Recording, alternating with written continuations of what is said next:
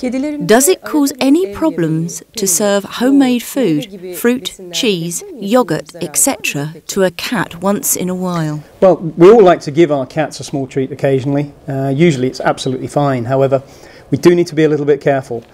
An adult cat actually only needs around half a cupful of food per day, which is around 80 to 90 grams. So if we feed too many treats that are not nutritionally balanced, the cat will probably consume less of its normal food, which means that it won't get the essential vitamins and minerals that it needs.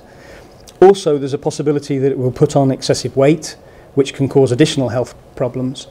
So a small piece of cheese or something like this is, is absolutely fine, but only give it occasionally.